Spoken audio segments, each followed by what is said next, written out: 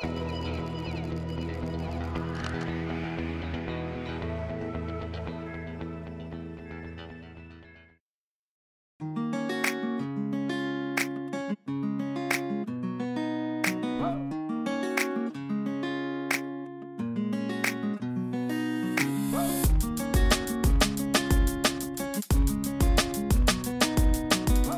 everyone, welcome back to a new video review by Mirror Lesson.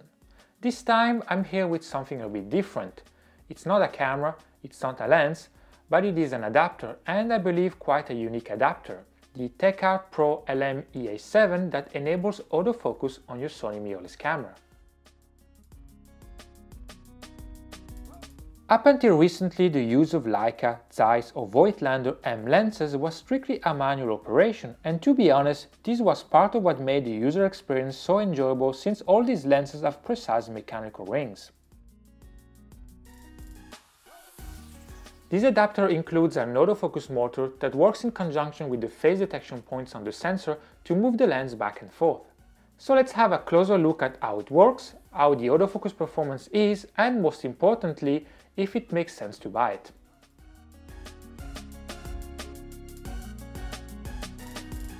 The TechArt Pro autofocus adapter comes in a nice package.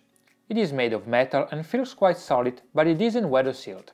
As you can see, the bottom part extends quite a bit to house the motor and it also contains a Bluetooth module.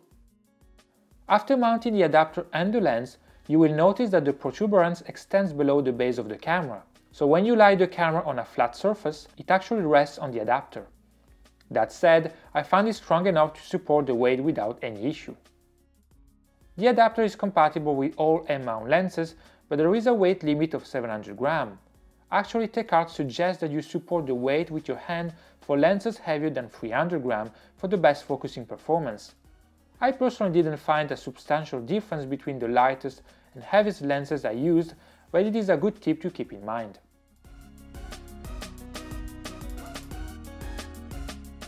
The maximum shift on the z-axis is 4.5 mm and according to TechArt that is enough to cover the focus distance range of most lenses. With lenses up to 50 mm, you simply rotate the focus ring to infinity. The company also provides a focusing range table according to the lens you mount. One of the first interesting things about this adapter is that it can shorten the minimum focus distance of your lens. For example, one of the two lenses I used for my test was the Ultron 35mm f1.7 and its minimum focus distance is 50 cm.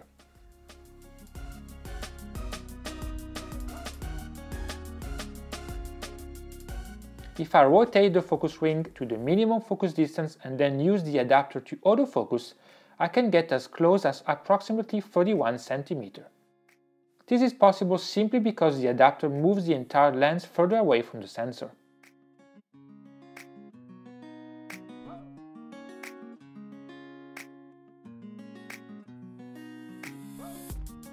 With telephoto lenses, the infinity solution might not always work. For example, here I have another Voigtlander lens, the Heliar 75 1.8. If I set the focus ring to infinity and try to autofocus at short focus distances, I can end up with soft results. In this example I am approximately 1.5 meters away from my subject, which is still within the range capabilities of the lens, whose minimum focus distance is 90 cm. So the solution is to pre-focus manually by setting the focus ring to around 5 meters for example. Doing so will give you a perfectly sharp shot.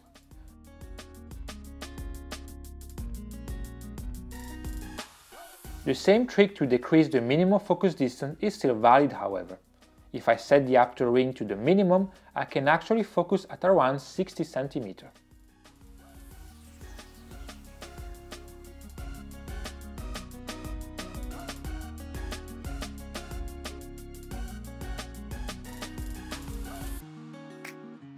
Concerning the focus distance in general, it is important to understand that there can be variations from lens to lens. One example is the type of focus mechanism. Unit focusing lenses move the entire set of optical elements when you turn the focus ring. These Voigtlander lenses I just mentioned are two of them. This type of mechanism is perfectly compatible with the TechArt Pro adapter. However, other lenses can move one group of elements only. Those have a floating element design. In that case, you may need to pre-focus by adjusting the focus ring first and then fine-tune with autofocus. This can be especially valid if you are focusing close to an object and will allow you to preserve better optical quality. The last note applies especially if you want to use other lenses than M-mount lenses. You can use a second adapter on the LM EA7 and use lenses such as the Canon FD, Contax CY, Leica R and other type of lenses. Basically you will have a lens and two adapters including the Techart Pro LM-EA7 attached to your camera. However, remember that the maximum weight of the second adapter and the lens still has to be below 700 grams. Some customers reported that you can use a heavier lens and just hold it with your second hand while you're shooting, but then it becomes a two-handed operation at all time, and one moment of carelessness could result in damaging the adapter, so I personally don't recommend it.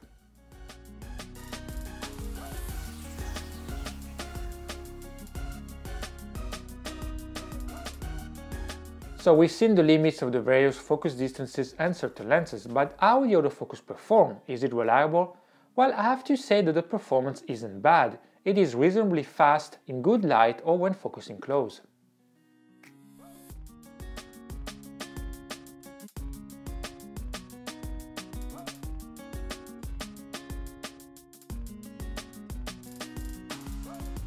However, the results are not always precise. In situations with low contrast such as landscape shots on a cloudy day, the adapter can have trouble focusing or can focus but give you an inaccurate result.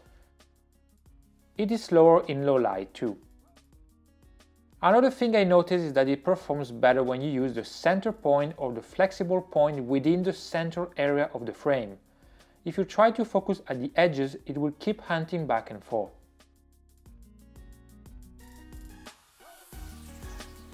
In continuous autofocus, the performance gives mixed results. Many times the adapter wasn't capable of keeping track of the subject even when it was moving slowly. For fast-moving subjects like a person running towards you, it simply won't keep up. Concerning the AF options, basically the adapter behaves like the Sony LA EA3. You don't have Zone AF and you can't use Eye AF, the AFA mode or the lock-on AF mode. Another thing to understand is that the adapter works with Sony cams that have phase detection points and that allow phase detection compatibility with third-party adapters and lenses. These lists include the a7R Mark II, the a7 Mark II, the a6300 and the a6500. I tried it on the a6300 as well and it performs in the same way as with the a7R Mark II. With cameras that have contrast detection only such as the a7S, the performance will be much slower or it might not work at all. One last thing to highlight is that continuous AF doesn't work in movie mode. In general, if you want to switch to manual focus, you need to assign the AF-MF control toggle option to one of the custom buttons. The focus mode function won't let you switch to manual focus for some reason. The Techart Pro is compatible with sensor stabilization. However, because the focus distance is not transmitted to the camera, you can only use three axis. The best solution is to set the steady shot to manual and input the correct focal length as you would normally do with adapter lenses that lack electronic contacts. That way you are sure to get accurate results. With both the 35mm and 75mm I managed to get sharp shot at around one fifth of a second.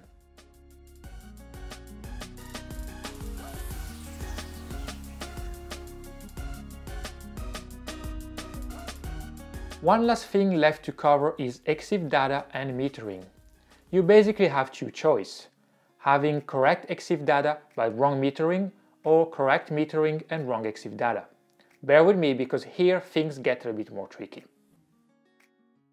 You normally control the aperture on the lens itself with these kind of manual focus products and here the concept is the same. You set your exposure and your depth of field with the aperture ring on the lens you don't have any other choice because the lens doesn't have electronic contacts. However, the adapter does have electronic contacts, so the camera is actually recording an F number. However, the two are not directly connected. If I set my aperture ring to 5.6, the camera is still showing f2 unless I manually turn the dial on the camera to match the same number. So what does this f number on the camera really do? Well, it can be used for different things. You can record the correct aperture in the EXIF data by matching the same values set on the lens. Certain aperture values can be used to change the focal length in the EXIF data. Other aperture values can trigger certain settings on the adapter itself.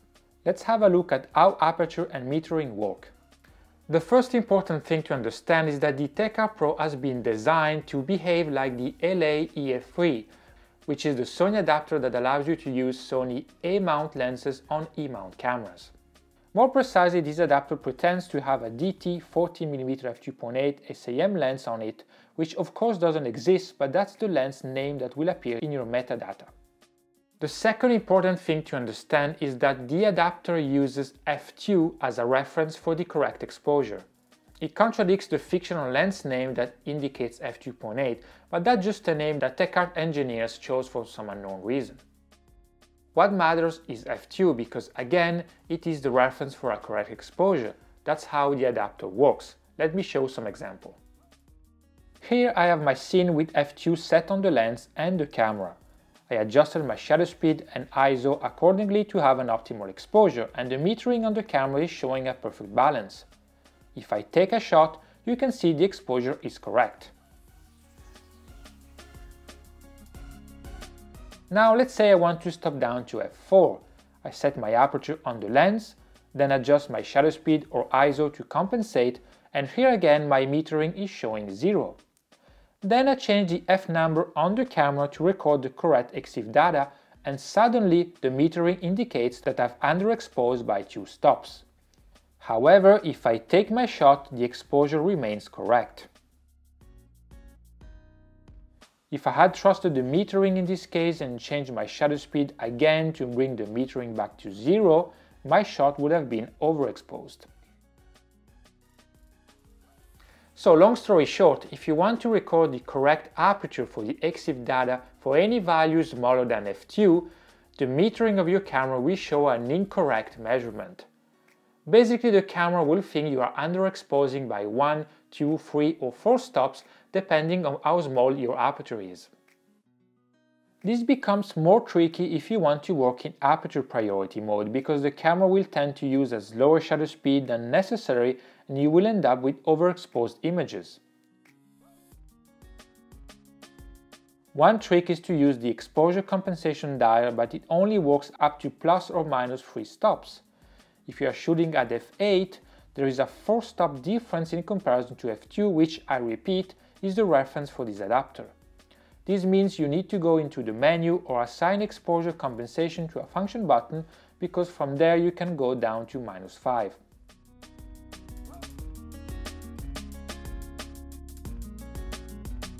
Earlier I talked about changing the focal length in the EXIF data.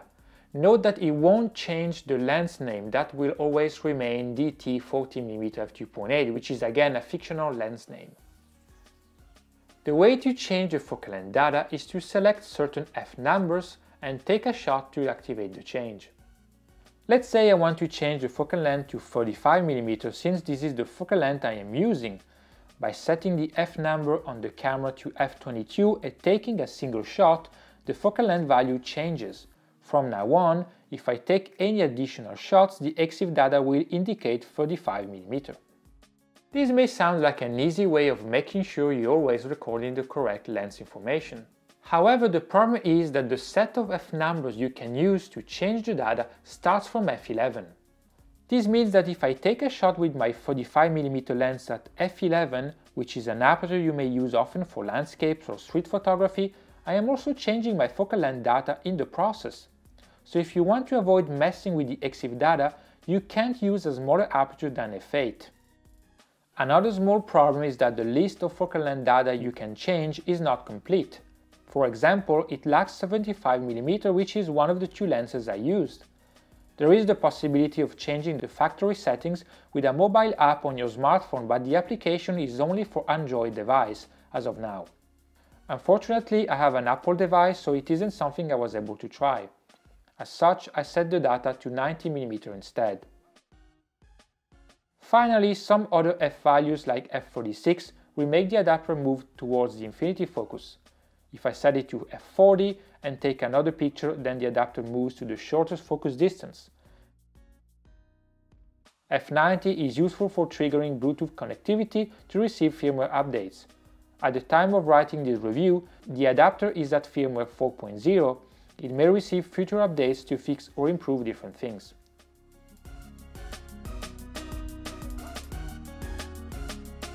So that's it for this in-depth look at the Techart Pro autofocus adapter for M lenses. I know I spent a lot of time talking about EXIF data, but it was important to show you how the adapter works and where all the tricky errors lie. Personally, I found the adapter more interesting to use with longer focal lengths like the 75mm than shorter focal lengths. Manual focus is generally more difficult with telephoto lenses, especially those with fast apertures, and that's where this adapter can help you fine-tune your focus point more quickly and easily. The AF performance is fast and surprised me on more than one occasion, but can also be imprecise, slow in moving subject, in low light and doesn't work for video. Finally, I admit that all the settings related to EXIF data, aperture values and metering are somewhat complicated. I wish Techart could design a better app and allow you to change some of these settings without compromising metering or the smaller apertures. For now, perhaps the best way to enjoy this adapter is to simply not care about recalling the correct aperture and focal length data. As usual, thank you for watching. If you have any questions, don't hesitate to leave a comment. Please like and subscribe and see you soon. Bye bye!